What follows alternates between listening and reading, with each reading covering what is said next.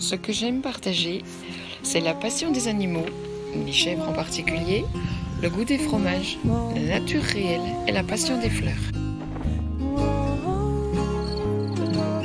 Nous sommes 42 000 propriétaires. Nous sommes tous différents. Gîtes de France, partageons des moments uniques.